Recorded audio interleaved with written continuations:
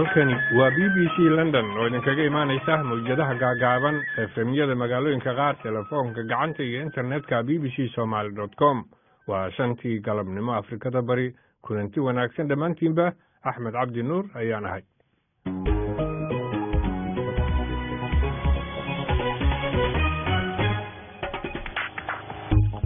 Waa talaado soddonka oktoobar sannadka laba kun iyo siddeed iyo toban soomaaliya tiro dad ah ayaa la sheegay in maanta lagu dilay waddada muqdisho iyo afgooye isku xirta. Qalalaasaha siyaasadeed ee ka taagan galmudug waa sii qoto dheeraanaya. Soomaaliya waxay mar kale hoggaanka u haysaa weriyaasha la dilo ee aan dadna loo qaban. Meydiyaha dalka dhan ayaa dhibaatooda gaartay laakiin gaar ahaan shabeelle waa idaacadda keliya ee dhibka ugu badan ee saxaafadda dadka saxaafadda muhiimadooda tahay ay ka soo gaarto shabeelle waxay naftooda ku waayay inta ay shaqaynaysay afar iyo toban weriye waddamada bartamaha ameerika waxay bilaabeen sidii ay u joojin lahaayeen qaxootiga soo dhex maraya si ay maraykanka u soo gaaraan. Isticmaalka xaddaafka ah ee bani aadamku ku hayo xayawaanka duurjoogta ah ayaa la sheegay inay dabargo keentay baalkii gunguriga la ohan jiray soomaaliya keliya laga heli jiray weliba nugaash oo kale lagu banaan jiray xiliyadii hore. Maanta inaan maaragtay cidno arag ama aan waxba laga helin biciidkii oo kaleeto oo maaragtay dhulkeena aada u joogi jiray wuxuu ka mid yahay xayawaanka dabar go'ay. Qodobadaas iyo kuwo kale oo soomaalida iyo caalamka kaleba ku saabsan iyo weliba wararka cayaaraha ayaad idaacaddan ku maqli doontaan saacadda soo socota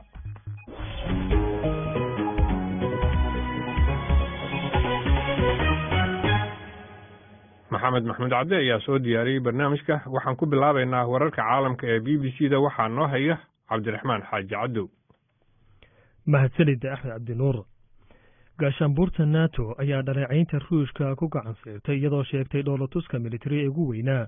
Taniyo inta uu dhammaaday dagaalkii qabooba ee adduunka inay samaynayso. Xogayaha guud ee gaashaanbuurta nato jens stoltenberg ayaa sheegay dhoolatuska ay nato samaynayso inuusan ahayn mid cid si gaara loola dan leeyahay dhoolatuskuna waa mid horay u qorshaysnaa oo muddo dheerna la sugayay ayuu yidhi. Dhoolatuskan muddo dheer ayaa la qorshaynayey looguma horjeedo cid gaar ah wuxuu gebi ahaanba yahay mid difaac. Waxaan tababarka ku fulinaynaa wakhti nabadda oo loo gol leeyahay sidii ciidamadeenna ay si wada jir a wada shaqayn lahaayeen la tacaalidda qallaasaha iyo rabshadaha. waxaan sidoo kale u tababaraynaa sidii aan u xaqiijin lahayn sidii ciidamada gaashaanbuurta nato u noqon lahaayeen ciidamo difaac sanadka laba kun iyo sagaal iyo tobanka.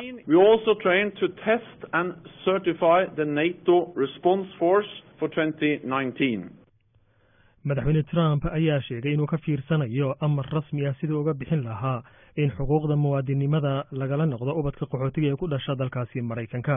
Waraysi uu siiyey trump shabakadda access news ayaa lagu sheegay inuuna taliyihiisa u caddeeyey inuu tallaabadani xoojinayo. Ayna tahay mid ku salaysan awoodda madaxweyne trump. Qaar ka mid a khubarada arrimahan dhuun daloola ayaa waxay ku doodayaan arrinta ah in muwaadinimada qof lagala noqdo ay meel marin karto oo keliya. Aqalka sare ee maraykanka markuu go'aankaasi meelmariyo madaxweyne trump wuxuu xoogga saaray arrimaha soogalotiga iyada oo doorashada xilliga dhexe ee maraykanka toddobaadka soo socdo la qabanayo.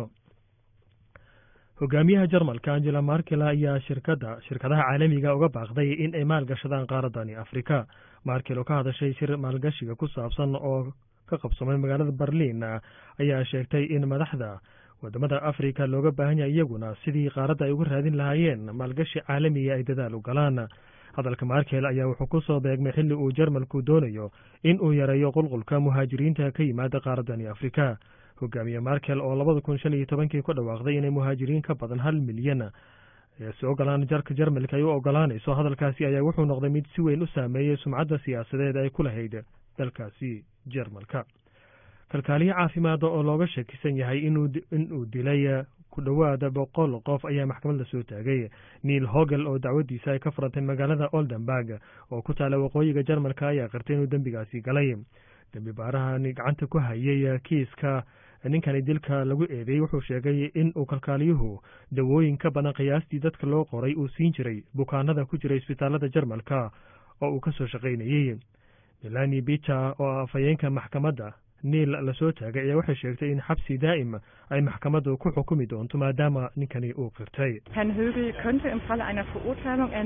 Mister hogel mar kale waa lagu xukumi karaa xabsi daa'im isagoo weli raadinaya qiil uu dacwaddaasi isaga difaaco balse marka la fiiriyo caddaymaha la hayo sida ay wax u dhaceen iyo qirashadiisaba waxay u badan tahay in xabsi daa'im uu mutaysan doono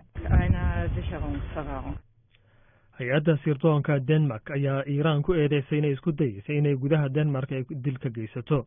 Hay'adda sirdoonka denmark ee loo yaqaano bet waxay sheegtay iiraan inay dooneysay inay khaarijiso nin carab ah oo iiraan u dhashay oo ololeeya arrimaha xuquuqda aadanaha. Booliska denmark in ay gacanta ku hayaan saddex qof oo falkaasi lala xidhiiriyey waxaa dadkaasi ka mid ah nin asal ahaan ka soo jeeda iiraan oo dhalasho norway haysta oo ay boolisku xidheen balse ninka waa uu diiday inuu arrintani wax lug ah uu ku leeyahay wararka ka imanaya dalka sacuudiga ayaa sheegaya amiir axmed in uu sacuudiga dib ugu soo laabtay. Amiir axmed bin cabdilcasiis oo musaafiris dalkaga maqnaa oo dalka dib ugu soo noqday kadib markii uu ammaankiisa uu damaanad buuxda uu ka helay boqortooyada sacuudi carabiya dadka indhaindheeya siyaasadda boqortooyada sacuudiga ayaa waxay soo noqoshada amiir axmed bin cabdilcasiis ay ku tilmaameen in ay dhici karto dhaxal sugaha awoodda badan ee amiir maxamed bin salmaan in lagu bedelo. Dhaxal sugaha boqortooyada sacuudi carabiya amiir maxamed bin salmaan waxaa ku soo badanayay cadaadis dhinacyo badan uga yimaada wixii ka dambeeyey dilkii jamaal khashukji looga geystay qunsuliyadda sacuudiga uu ku leeyahay istanbul. Ugu dambeyn dowladda bakistan ayaa lagu qasbay in ay beeniso wararka sheegaya in diyaaradda israa'iil leedahay ay ka degtay islaamabad jimcihii. Hadalhaynta diyaaradda ayaa waxay timid markii wargeyska hartes ee ka soo baxa israa'iil uu qoray diyaarad laga leeyahay israa'iil inay ka degtay islaamabad islamarkaana toban saacadood ay bakistan haysatay. Bakistan oo ah dal aan aqoonsanayn israa'iil warbixinta wargeyska uu qoray waxay dhalisay muran ah ma laga yaabaa in islaamabad bedeshay siyaasadeeda ku aadan israa'iil. Wasiirka arrimaha dibadda bakistan shah mahmuud qureyshi oo arrintani ka hadlayna wuxuu sheegay warkaasi inuu yahay mid aan sal lahayn oo been abuura. Warkii idaacaddeenna galabnimo waa naga intaa waxaan dib idinku celinayaa saaxiibkii axmed cabdinuur iyo stuudiyaheena london. Mahadsanid cabdiraxmaan xaaji caddow ayuu ahaa halkani waa london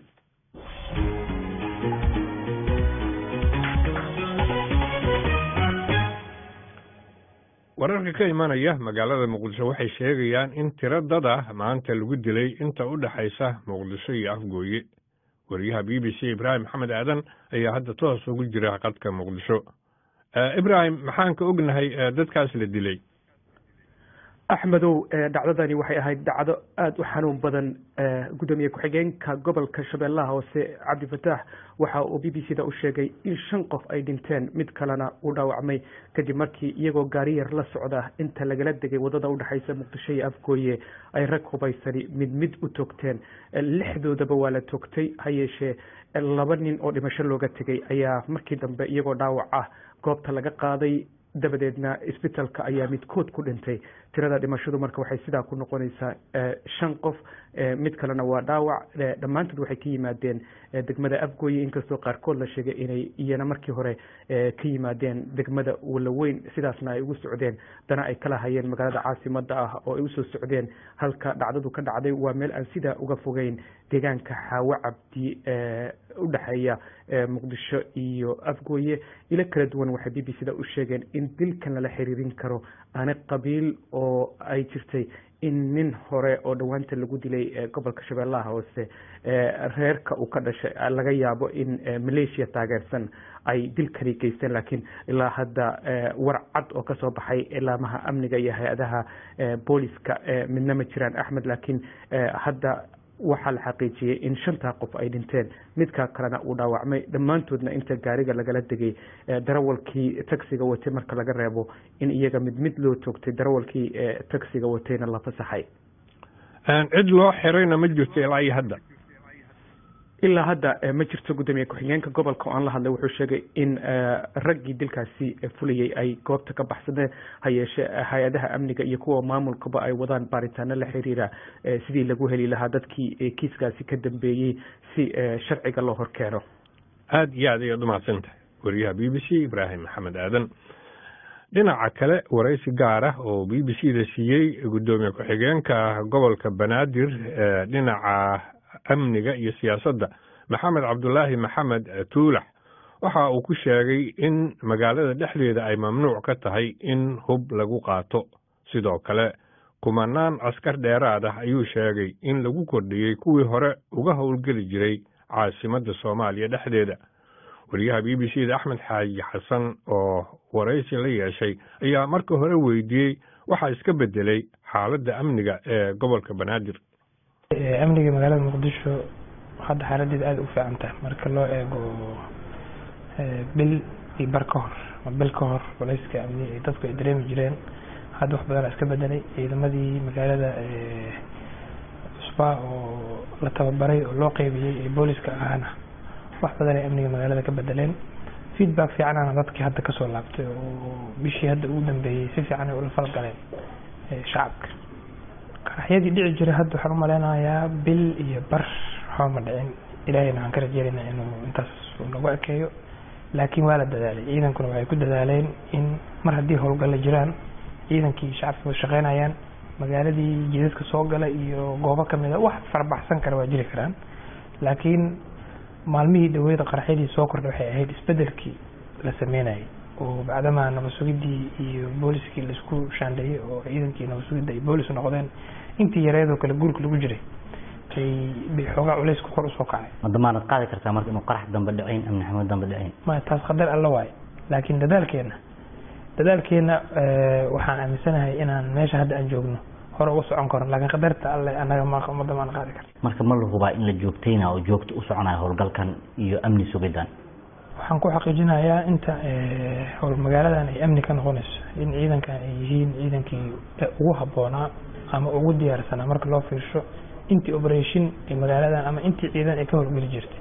Ciidankan waa ciidan boolis ah oo isku mid ah oo isku tababara oo isku dhaqana ma fahamtay? Waxaan annagana xooga saaraynaa inay waxaan wax continuous noqdaan oo joogto ah. Inta aan xilka joogno ama marka aan ka tagnana dadka naga dambeeya ay dhammaystiri doonaan. hundred percent marka wax inta aan joogno socon doona noqonaya.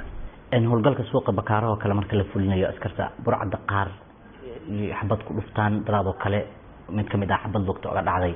Marka maxaa sababaya in dhalinyarada xabad lagu dhufto oo askartu iyo ayaga ay dagaalamaan? Suuqa bakaaraha waa ogtihiin culeysaa ka jiray. Dadka suuqa ku ganacsadana cabasho badan ay soo gudbiyeen. Inta aan howlgalkaan bilaaban ciidamo ku filana loo geeyey oo suuqii amnigiisii wax badan ka bedeleen. Aniga waa tegay suuqa waa ku dhex socday suuqii daawadaan tegay waxaan tegay suuqii cabdilashadeeye iyo qeybaha kale ee suuqyada suuqu ka koobay oo muddo hore igu dambeysay laftirkeyga waxaan ku arkay ciidamo shacabku sida waxay noo sheegeen inay ku qanacsan yihiin sida hadda wax u laakiin waxaan wax socon doona ma noqon doonaan. Dadka ciidanka hadda ay dileen turugada ahna dad ayagu dhibaato wada waayo oo diiday inay isdhiibaan. Qofka haduu hubato qor xabad uu soo ridayo ama uusan isdhiibeynin of course ciidanku tallaaba ka qaadaya. Inta ayagu ay dhibaatay lahaayeen by the way meelaha ay wax ka gaareen ama looga dhuftay ma aha meelo ay u dhimanayaan. Lugahoo kale looga bilaabaa ilaa qofka uu isagu go'aansado inuu dhinto xabadda uu sii wado. Marka qayb intoodii inta qofka lugta looga dhufto oo isdhiibo waa la daaweynaya isbitaal la geynaya waa la daaweynaya laakiin asaa diiday inuu isdhiibo ciidanku xaq waxay leeyihiin inay isdifaacaan inta ayagu dhibaatay lahaa. Dadka qaar waxay ka cabanayaan ama ka andacoonayaan in askarta ay qayb ka yihiin dhacaa iyo amni xumada bal ka waran arrintaas. Ama boolis ha noqdaan ama ha noqdaan ciidankii hore la soo wareejiyey hadda ciidanka magaalada ka horgalaya waa ciidan tababaran oo shacabku ay runtii aada u ammaaneen xataa la macaamilkooda kullii horta tababara dib loogu celshay. Intii dhaqanka xumeydna ciidanka hadda kuwa ka howlgalaya magaalada kuma jiraan. Waa dhici kartaa qof iyo labo laakiin ayagana waxay ogyihiin cawaaqibka ay kala kulmayaan haddii ay dadka dhibaateeyaan saddexda kun hadda magaalada ka howlgalaysa oo qeyb weli dhiman tahay tababaro u socdo shacabku hadda aaday u ammaaneen sida ay ula macaamilayaan. Waana dhalinyaro runtii jaamiciyiina iyo kuwii iskuullada ka baxay oo xaafadaha iyo dadka deegaanka ay si fiican u yaqaanaan. Xaafadooda marka ciidan ay si fiican u garanayaan oo wiilkoodii ah oo laakiin aanan balwad lahayn xataa int intii dambe oo la qaatay balwadda ku yarta. Marka wax badanaa iska bedelaya habdhaqankii ay kula macaamili jireen dadka maxay soo kordhinaysaa haddii amniga la sugaayo ciidamo dheeraad la soo kordhiyo? Mar haddii hub suuqyadii lagu iibinayo oo suuqa hub yaallo oo dadka iibsan karaan qori ama rasaas ama bam iyo waxay u baahdaan? Hadda meel sharci ah oo aan ognahay oo lagu iibinayo ma jirto. Haddaa ii sheegtana waa talaabaan ka qaadayna. Laakiin maalmihii ugu dambeeya howlgallaa la sameynayay qeybo ka mid a degmada wadajir oo ahayd goob ka caagan ciidanka oo hubna lagu keydsado dadka joogana aysan soo dhexgeli karin ciidankii booliska tallaabaan ka qaadnay. Hub badanna waa lagu soo qabtay oo nimankaas ama ha ka ganacsadaan ama hub magaalada inteeda kale inta lagu soo dhibaateeyo lagu keydsado ha noqoto hadda anu meela oga hub lagu iibiyo ma jiro meel qarsoodi waa dhici karta. Haddaan ogaanana tallaabaan laga qaadaya hub ma la iibin karo? Ma la iibin karo hub magaala dhexdeeda. Goob cirjoogta la yihahdo magaala dhexdeeda ku dhex ooli karta. Ma jirto tuulax gudoomiye ku-xigeenka gobolka banaadir ee dhinaca amniga iyo siyaasadda waxaa u waramayey wariyaha b b c axmed xaaji xasan. Waa tahay dhegeystayaasha qaar ka mida ayaa ra'yigooda ka soo dhiibtay arrintan. Waxaa ka mid a maxamed deeq oo jooga jigjiga wuxuu yihi habdhaqanka ciidamada soomaaliya waxaa iska bedelay waxaa kow ka ah ciidamada. Inta badan ma helaan tababar waafiya hadday heli lahaayeen tababar waxay noqon lahaayeen libaaxyada africa waa tahay waxaa kaloo isna ra'yigiisa ka soo dhiibtay arrintan faysal maxamed bakaal oo ku sugan baydhabo wuxuu yidhi isbedelada habdhaqanka ciidamada soomaaliya halkan ka akris waayahay waa arrin kaloo ka duwan. Intaas aan uga baxo taas waxaan markaasi u geli doonaa sheeko kale oo ku saabsan arrinta galmudug. War ka soo baxay xafiiska madaxa wasiirada maamulka galmudug ee dhuusamareeb sheekh maxamed shaakir cali xasan. Waxaa lagu sheegay inuu soo dhoweynayo baaqii madaxweynaha soomaaliya. Uu jeediyey madaxda maamul goboleedyada ee ahaa inay shir isugu yimaadaan si loo xaliyo khilaafka u dhexeeya madaxda federaalka iyo kuwa gobollada warkan sheekha ayaa soo baxay iyada oo madaxweynaha galmudug axmed ducaale xaaf uu weli ka soo horjeedo in shirkaasi uu ka qayb galo madaxweynuhu ku baaqay. Warka ka soo baxay xafiiska sheekh shaakir waxaa faahfaahintiisa noo haya wariyaha b b c ibraahim maxamed aadan. Axmed war-saxaafadeedka ka soo baxay xafiiska sheekh maxamed shaakir madaxa wasiirada galmudug ee fadhiya dhuusamareeb waxaa lagu sheegay in ay soo dhoweynayaan gogasha uu fidiyey madaxweynaha soomaaliya maxamed cabdilaahi maxamed farmaajo ee lagu dhammaynayo khilaafaadka soo kala dhex galay dowladda dhexe iyo dowlad goboleedyada. Dowlad goboleedka galmudug waxay aqoonsan tahay baa layidhi jiritaanka dowladda soomaaliya iyo madaxdeeda. Sidoo kale dowlad goboleedka galmudug waxay ugu baaqaysaa baa layidhi dowladda dhexe iyo dowlad goboleedyada in ay wadahadal ku dhameeyaan khilaafaadka soo kala dhex galay labada dhinac una turaan shacabka soomaaliyeed ee tabaalaysan. Waxaan mas'uuliyad iska saaraynaa baa layidhi isku soo dhoweynta iyo dhexdhexaadinta dowladda dhexe iyo dowlad goboleedyada tabashada qaba. Ugu dambeyn dowladda dhexe iyo dowlad goboleedyada waa inaysan hilmaamin baa layidhi dacdadii madoobeyd ee afar iyo tobankii oktoobar ee xasuuqa lagu geystay bay yidhaahdeen. Ummadda soomaaliyeed waa in loo midoobaa bay yidhaahdeen kooxaha cadaystay daadinta dhiigga shacabka si aysan kooxahaasi uga faa'iidaysan khilaafka. Hadda taagan war-saxaafadeedka nuxurkiisa axmed markaad eegto waxaa muuqata in uu ka hor imaanayo go'aankii madaxda dowlad goboleedyada qaar ka mid a ay dhowaantan ka soo saareen garowe ee ku aadanaa khilaafka kala dhexeeya dowladda tanina waxay cadaadis xoog leh sii saari doontaa madaxweynaha galmudug axmed ducaale geelaxaaf oo horey u waayey ku-xigeenkiisa maxamed xaashi iyo guddoomiyihii baarlamanka oo uga aragti duwanaaday khilaafka dowladda kala dhexeeya markana dhulsamareeb ayay joogtaa oo madaxii xukuumadda ahna nin aada u awood badan madaxna ka ah ahlu sunna waljamaaca oo gacanta ku haysa qaybo kamida bartamaha soomaaliya uu ka hor yimaado una muuqdo inuu soo dhoweynayo hadalka madaxweynaha soomaaliya ee ahaa in laysu soo dhoweeyo dhinacyada khilaafka u dhexeeyo gogashana ay taalla muqdisho.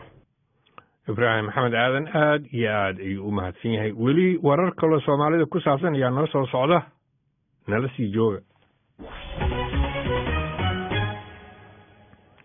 Mas'uuliyiinta socdaalka iyo booliiska koonfurta dalka mexico waxa ay qabteen koox labaad oo ah dad ka soo haajiray waddamada bartamaha america oo isku dayey inay dalkaas ka soo galaan dhinaca guatemala.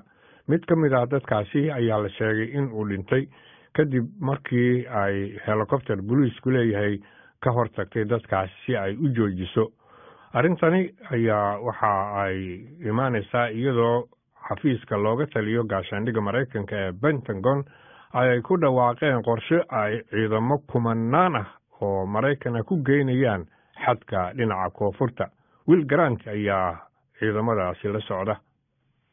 Diyaaradda qumaatiga u kacda ee boolisku waxay joog hoose ku dul maraysay webiga sushiate oo boqolaal muhaajiriin ahi doonayeen inay uga tallaabaan dhanka mexico kuwaasoo doonayay inay qaadaan dhabbihii ay mareen dadka raabaraabaha u socda ee ku sii jeeda xadka maraykanka iyo mexico u dhexeeya marawaxadda diyaaradda ayaa biyaha webiga wax yar uun u jirsatay oo waxaaba ku adkaatay inay dadku galaan webiga. Warbaahinta dalkaasina waxay ku warrantay in nin doonayay inuu ka tallaabo halkaasi uu ku dhintay oo biyaha ku qarqoomay. Dadka intoodii ka tallowday webiga waxaa markiiba qabtay booliska mexico. Waa markii labaad ee booliska iyo dadka tahriibkii ay isku dhacaan dabayaaqada toddobaadkii hore. Dhanka kalena dadkii gudbay ee ku sii jeeda maraykanka ayaa weli waxaa ka go'an inay ka tallaabaan sohdinta mexico iyo maraykanka waxaanay dhegaha ka furaysteen baaq xukuumadda mexico u dirtay oo ah inay booliska isku dhiibaan oo ay dalka magangelyo ka codsadaan.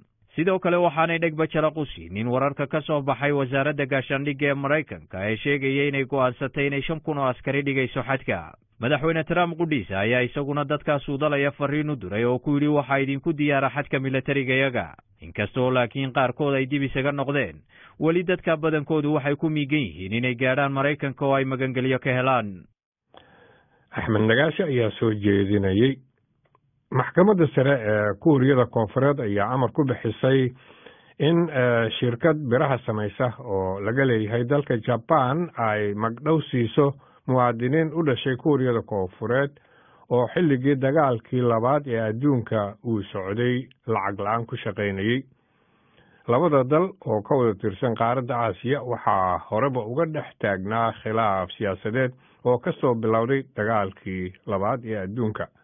Warbixin weriyaha b b c lora biker ay ka soo dirtay magaalada sool waxaa soo jeedinaya cabdiraxmaan xaaji cadow maxkamadda sare ee kooriyada koonfureed ayaa shirkadda biraha samaysa ee laga leeyahay jabaan ku amartay inay magdhow dhan boqol milyan oo wan oo u dhiganta. Sagaal iyo siddeetan kun oo dollar ay siiso rag u dhashay sool raggaasi oo xilliga dagaalka labaad ee adduunka uu socday lagu qasbay in ay mushaar la'aan ay shirkadda u shaqeeyaan.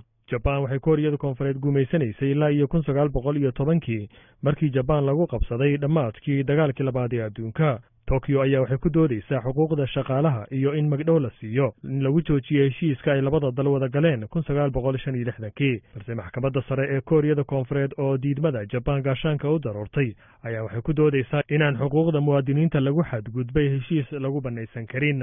Arrintani ayaa waxaa laga cabsi qabaa inay abuurto shirkado badan oo laga leeyahay jabaan in la weydiiyo shaqaalahooda ay xuquuqda ay lahaayeen siinin xilliga ay jabaan guumaysanaysay kooriyada koonfureed. Ay magdhow weydiistaan shirkadda biraha samaysa laga leeyahay jabaan haddii magdhowga ay maxkamadda ku xukuntay bixin weydo waxaa dhici karto qoysaska magdhowga loo xukumay in ay maxkamadda ka dalbadaan. Hantida ay ku leedahay kooriyada koonfureed in la xayiro.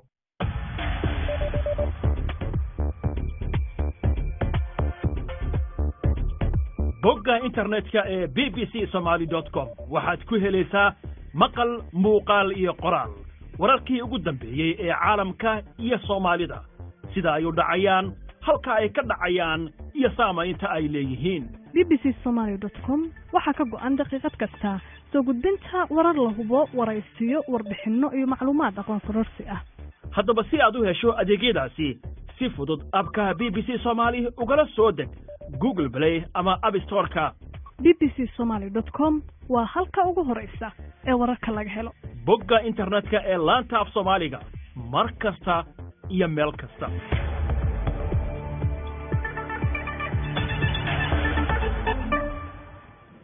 Hagaag weliba sheekadii gaabneedna waa noo soo socotaa. Mar dhow haatanse nin caafimaadka ka shaqaynayey oo waddanka jarmalka loo haysto inuu yahay kii ugu dadil badnaa wixii ka dambeeyey dagaalkii labaad ee adduunka ayaa maxkamad ku taala magaalada oldenberg la soo taagay. Nilis hogel waxaa lagu eedeeyey in boqol qof oo waayeelah oo inuu daaweeyo uu uga shaqaynayey uu markaasi isagu dilay haddaba warbixin arrintaasi ku saabsan waxaa inoo haysa faadimo macalin. Baarayaasha ayaa sheegay in niilis hoogel oo afartan iyo kow jir ah uu daawooyin ka badan qiyaastii dadka loo qoray uu siin jiray bukaanada oo ku jira isbitaalada jarmalka waxay sheegeen in ujeedadiisu ay ahayd inuu ka cajabiyo shaqaalihii ay isla shaqaynayeen uuna iska dhigo inuu badbaadinayo bukaanada uu laayay hoogel ayaa haddaba xabsi ugu jiro inuu dilay bukaano ay ahayd inuu baxnaaniyo. Dacwadan u dambeysay ayaa la filayaa inay socoto ilaa bisha may waxayna daba socotaa meydad la soo qufay oo laga helay inay ku sumoobeen daawooyin laga tambadiyey hoogel ayaa hadda la sheegay inuu dilay soddon iyo lix bukaana oo ku sugnaa oldenburg iyo lixdan iyo afar kale oo ku sugnaa delmen hoos oo aan ka fogeyn. Arrintaasina ay dhacday intii u dhexaysay kun sagaal boqol iyo sagaashan iyo sagaalkii ilaa labada kun iyo shantii wariyaha b b c jenny hill oo ku sugan berliin ayaa sheegaysa in arrintan ay xasaasi ka dhex tahay mas'uuliyiinta caafimaadka ee jarmalka kuwaasoo qaraabada dadka dhinta ay ku eedeynayaan inay indhaha ka daboosheen dilalka uu geysanayay hoogel haddii lagu helo in dadkaas oo dhan uu laayay wuxuu noqon doonaa ninkii dilkii ugu badnaa ka geysta jarmalka dagaaladii kadib. Baarayaashu waxa ay sheegayaan inay macquul tahay inuu dilay dad intaa ka badan balse dadka ay u badan tahay in arrintaasi ay u dhinteen ayaa diiradda la saarayaa hoogel ayaa markii ugu horreysay la qabtay sannadkii labada kun iyo shantii isagoo bukaan ku duray cirbad aan dhakhtar qorin sannadkii labada kun iyo sideedii ayaana lagu xukumay toddoba sano oo uu ku mutaystay isku daydil. Maxkamad labaad oo la saaray labada kun iyo afar iyo tobankii ilaa labada kun iyo shan iyo tobankii ayaa ku heshay inuu laba ruux dilay laba kalena uu isku dayay inuu dilo waxaana lagu xukumay xabsi daa-in baarayaasha ayaa markaa ballaariyey baaritaanadooda waxaanay soo qufeen meydadka boqol iyo soddon bukaan oo uu horey u daaweeyey iyaga oo eegaya inuu adeegsaday daawooyin keeni kara in wadnuhu istaago. Waxay sidoo kale baaritaan dib ugu sameeyeen diiwaanadii isbitaalka. Faadimo aada ayay umahadsan tahay waa tahay bal markaan sheeko ka duwan kuwaasoo dhan waxaa la soo daabacay amaba la soo saaray digniin ku saabsan in la iska ilaaliyo dayuuradahan aan cidi wadin meelaha kale laga soo duuliyo ama laga hagaba waa tahay. Haatan waxaa stuudiyaha ugula sugan farxaan maxamed jimcaale madaxa telefishinka soomaaliga ee b b c da farxaan maxay tahay arrintani? Axmed cabdinuur waad mahadsan tahay. Waxaa la leeyahay hay'adda hawada ee qaabilsan waddanka u k ee aviationka civil aviationka ayaa ka digaysa in waxaan la yidhahdo droniska ee maaragtay sida aad sheegtayba cidina aysan wadin laakiin dhulka laga hago inaan loo isticmaali karin meelo dadka u dhow amaba baabuurta ama dhismooyinka u dhow. Sababtan waxaa la sheegayaa in si lama filaan ah diyaarad nooceedu uu ahaa oo drone ah nooca la yidhaahdo d j i matris laba boqol in ay soo dhacday oo dhulka ay ku soo dhacday. Inkastoo wax khasaaraha aysan samayn haddana waxaa la leeyahay dhibaato ayay keeni lahayd haddii ay ku dhici lahayd meel dad far badan ay joogaan. Marka waxaa la leeyahay hadda kadib yaan loo dhoweynin meel konton konton mitir u jirta dadka ama baabuurta ama dhismooyinka. Sababto ah waxa leeyahy qofka bailotka duulinaya waxaa laga yaabaa inuusan awood u lahayn markii dib loo fiiriyey waxaa la yidhi markii hore waxaa la islahaa ka dhaca la islahaa oo sidaasay u soo dhacday. Laakiin baterigeedii xitaa markii la eegay maadaama dronku uu ku shaqeeyo bateri baterigeedu wuu fiicnaa weli dab bay lahayd. Marka shirkadii soo saarteen hadda waxay leedahay dib baan u eegeynaa waxaan kaa dhexgal marka dronkan horta annaga waxa u naqaan africa iyo gaar ahaan soomaaliya iyo marka la joogo kuwo wax duqeeyo oo militarigu ay isticmaalaan. Laakiin yurub waa caadiyaa loo isticmaala howlo badan oo rayid ah ayay dadku ku qabsadaan oo qof gaara xataa iska ijaaran kara ama soo iibsan kara gebigeedaba waa run axmed oo drone markii la maqlo waxaa la soo loo xasuusanayaa dronadii wax burburinayay al-shabaab weerarayay. ama ama alqaacida ama maxay ahayd kooxahan dowladda islaamiga. Laakiin waxaa jira drones kale oo si kale loo isticmaalo. Qaar baa sameeya waxaan la yidhaahdo alaabada qaada delivery sameeya. Qaar baa waxay sameeyaan sawiro ama qaado taswiir sawir kore ka qaada meelaha la doonayo in la sawiro. Marka kaamerooyin baa lagu xiraa qaarkood. Qaar waxaa leeyahay waxaa loo isticmaalaa dhinaca ganacsiga oo waxa kor lagala socdaa goobo ganacsi oo waaweyn si markaasi securityga ammaanka loo eego. Ayaa kor looga eega. Marka aad ba u yaryar yihiin waxay qaadi karaan. Qaarkood waa shan kiilo lix kiilo kuwa u k laga isticmaalo. Laakiin waxay doonaysaa dowladdu in la adkeeyo maadaama ay dhibaato keeni karto. Waxaa laga yaabaa haddii ay faraha ka bataan isticmaalkooda annagoo iska soconna inay nagu soo dhacdo sidii xaashiyihii ay bitaydi la dhihi bitaydii oo kale weeye oo oo bir ah koronto leh marka adoo waddada iska maraya meeshan oxford street. Ayaa laga yaabaaba in qoorta ay kaaga dhacdo waa shan kiilo oo culayskeeda bahal bir dhan marka waxaa la leeyahay droneskii ha laga taxadaro shirkado fara badan oo kuwa chineska ah ayaa isticmaala laakiin waxay leeyihiin dadka isticmaala shirkadan sida qaaska loo sheegay d j i waxay leedahay waa inay dib u update gareeyaan softwareka droneka markaasi waxay leeyihiin wax dhibaato ah ma keeni doonto hadda kadib. Aad iyo aad ayaad umahadsan tahay. Farxaan maxamed jimcaale ayuu ahaa madaxa qeybta telefishinka b b c da ee soomaaliga. Waa tahay markana saacaddu waxa ay ku sii dhowdahay ay gaartayba aan idhaahdo. Shantii iyo barkii afrikada bari goorahan oo kale waxaanu idin maqashanaa wararka b b c da kuwa ugu waaweyn waxaa inoo haya cabdiraxmaan xaaji cadow shambuurta nato ayaa dhaleecaynta ruushka ku gacan siirtay iyadoo sheegtay dhoolotuska militari ee ugu weyn tani iyo inta uu dhammaaday dagaalkii qaboobaa ee adduunka xogayaha guud ee gaashaanbuurta nato jen stolberg ayaa sheegay in dhoolotuskan uu ahaa mid horay u qorshaysnaa cid gaarna aan loola dan lahayn ugu yaraan toddoba qof ayaa ku dhimatay dab ka kacay kayn caana oo ku taala dalka koonfur afrika dabkani ka kacay kayn ku taala gobolka western galbeedka aan idhahdee cape. Waxaa ku dhintay toddoba qof oo carruur iyo haween ay isugu jiraan. Madaxweyne trump oo sheegay inuu ka fiirsanayo siduu amar rasmi ah uga bixin lahaa xuquuqda muwaadinimada in lagala noqdo ubadka qaxootiga ee ku dhasha maraykanka. Qaar ka mid ah khubarada arrimahan u dhundaloolin waxay sheegeen go'aankaasi inuu amar madaxweyne uu ku fuli karin ilaa uu aqalka sare maraykanka meel mariyo hogaamiyaha jarmalka angela markel ayaa shirkadaha caalamiga uga baaqday in ay maalgashadaan qaaradda afrika. Hadalka markel ayaa wuxuu ku soo beegmay xilli uu jarmalku doonayo inuu yareeyo qulqulka muhaajiriinta ka yimaada qaaradan afrika kalkaaliyo caafimaad oo looga shakisan yahay inuu dilay boqol bukaan ayay dacwaddiisa ka furanteen magaalada oldenburg.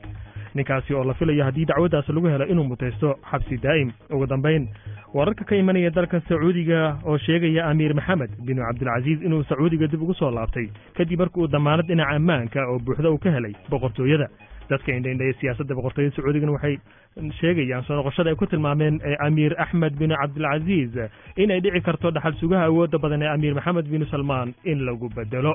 Waa qodobadii warka ugu doorkoona ee idaacaddeena. Galabnimo aanan ku celiyo stuudiyaheena london iyo axmed cabdinuur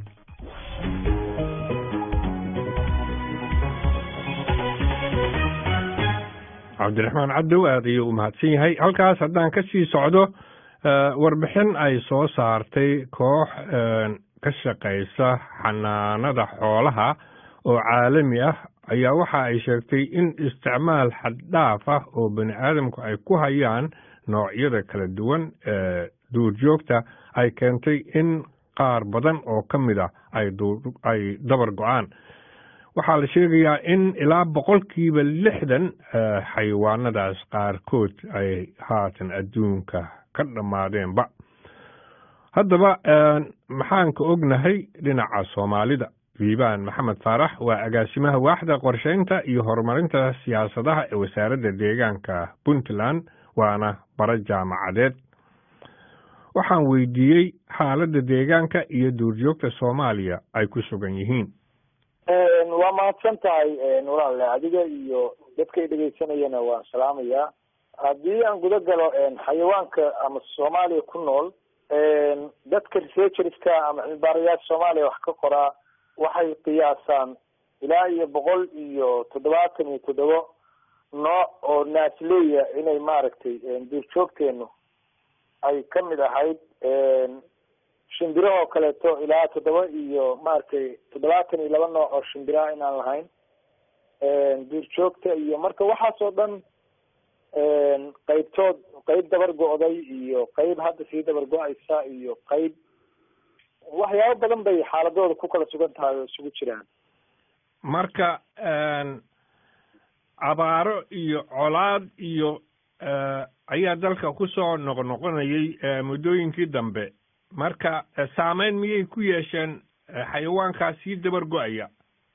Waxaynu ognahay muddadii u dambeysay dalkeenu inuusan dawlad lahayn markii dawladdii dhacdayna hubkiibaa wuxuu galay dadka gacmahooda shaqo la'aantiina way badatay. Taas waxay sahashay marka in ugaartii noocyadeeda kala duwaneyd la ugaarsado oo sahal lagu laayo.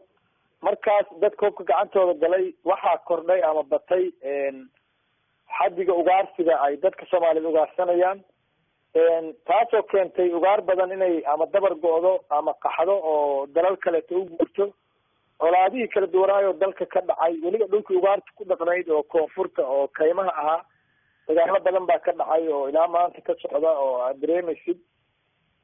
Taasina waxay keentay inay ugaar badan ama dhimato ama ay colaadahaas iyo waxaas ka qaxdo oo dalal kale ay aado ama meelo kale ay aado.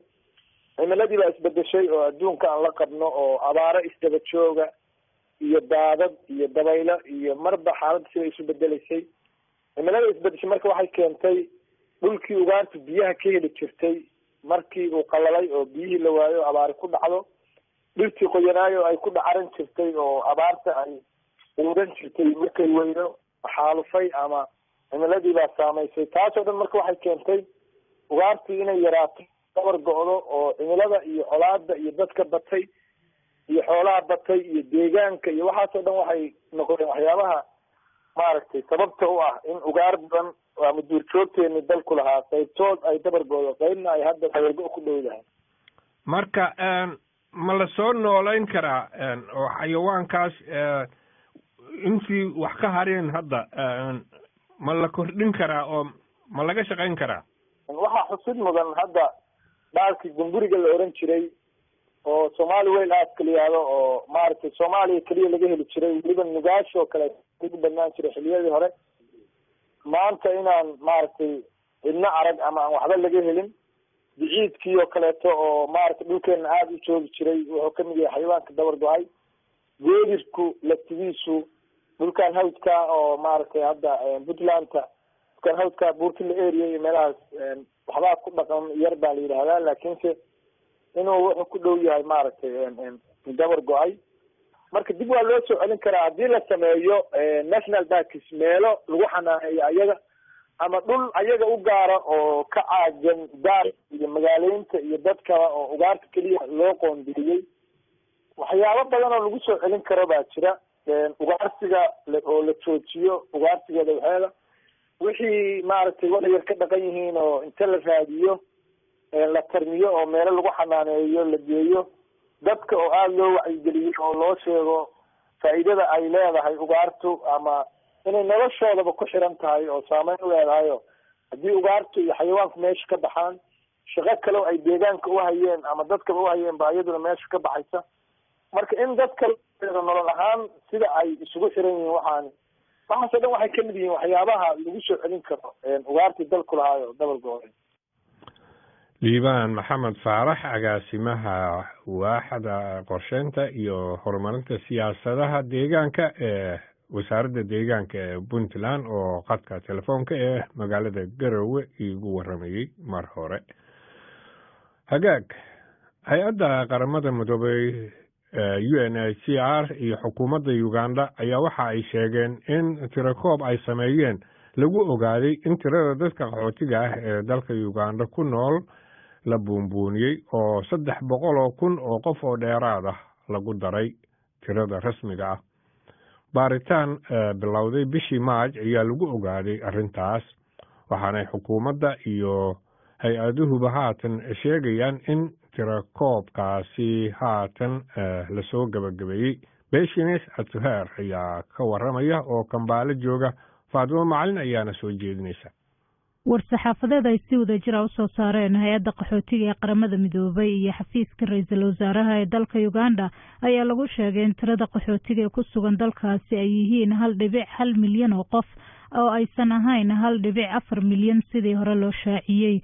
Tirakoobka ayaa laga sameeyey xeryaha qaxootiga ee uganda iyo sidoo kale gudaha magaalada kambala bishii februari waxaa jiray eedeymo ku aadan in saraakiisha dowladda uganda ay ka badbadiyeen tirada qaxootiga.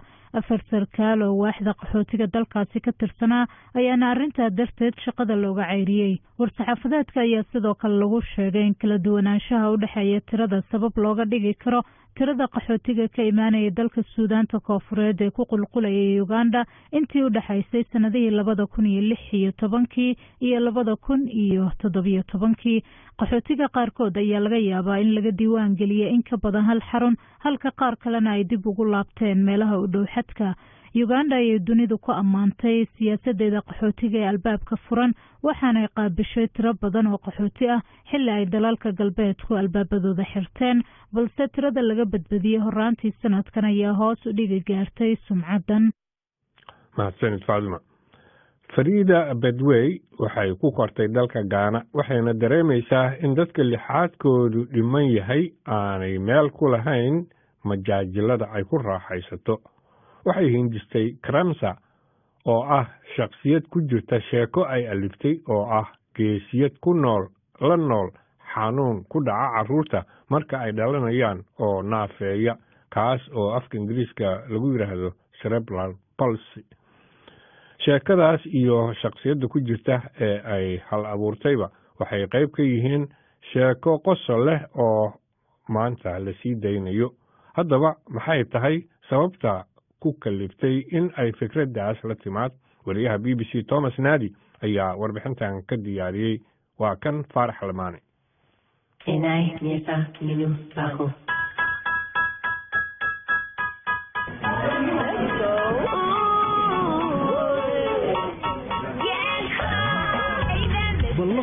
geesiyaasha qaba xanuunka murqaha naafeeya ee af ingiriisiga lagu yidhaahdo cerebral palsy.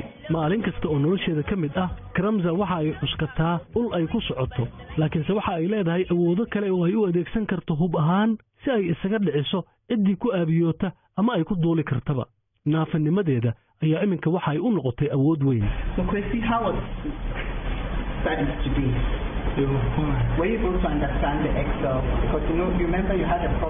ka qoslinta dadka ayaa waxa ay bartilmaameedsanaysaa dadka dhallinyarada ah sida sagaal iyo toban jirka kawasi ani anaan ee qaba xanuunka ku dhaca murqaha ee ka dhasha dhaawaca maskaxda ka gaara ilmaha marka ay dhalanayaan ama xilliga dhalashada ka hor waxaana la arkayaa isagoo aad u rayaaqaya waxaan filayaa in majaajiladu ay wanaagsan tahay waxayna ka hadlayaan cudurrada maskaxda ee ku dhaca carruurta waxayna arrintani wax ka bedeli doontaa waxa dadka inaga aaminsan yihiin. Carruur badan ayaa siyaabo kala duwan naafo u ah laakiin waa dhif iyo naadir in lagu arko buugaagta qosolka ama sawirrada kaartuunka friida badwey waa qoraa waxaana ay ka shaqaysataa teknolojiyada casriga ah iyadoo la nool xanuunka cerebral palsy. Waxa ay rajaynaysaa inay beddesho waxyaabahaas la aaminsan yahay dhammaantood waxa ay ka hadlaysaa waxa ku dhiirigeliyey inay soo saarto sheekadan ay dadka uga qosliso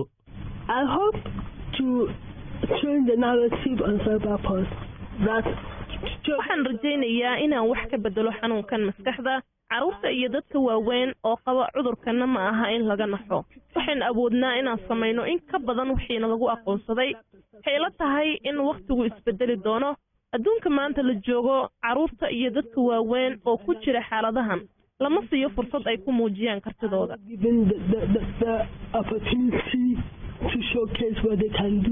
Leti artis waa shirkad ka shaqaysa cayaaraha videoga iyo horumarinta barnaamijyada xagga dijitaalka ee dadka looga qosliyo.